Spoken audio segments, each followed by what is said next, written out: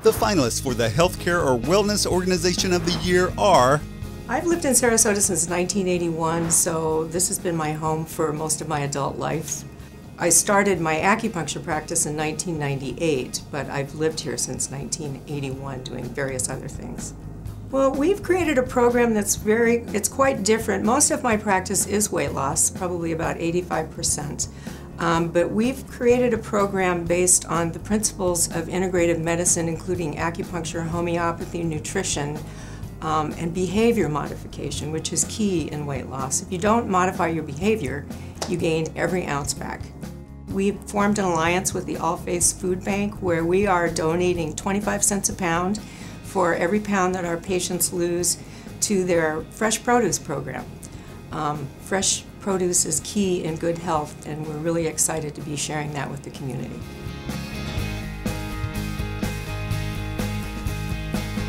One of the reasons I became an audiologist is because my mother had a hearing loss. And I always felt like she suffered in situations where there was background noise and crowds. I felt like she didn't get to participate.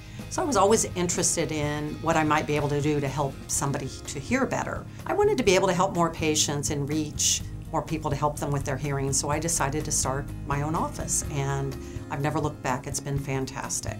So one of the things we're really proud about this year is that we started HearCare Connection. It's a nonprofit to help low-income families and individuals who can't afford hearing devices. So we have a circle of giving and we have individuals that come in that we can provide hearing devices and then they give some community service back as part of their payment. Our job as audiologists is to help everyone that we can. And so this is a great way for us to expand uh, into our communities in Sarasota area to help those individuals. It's very engaging and it's emotional and we're happy that we can help.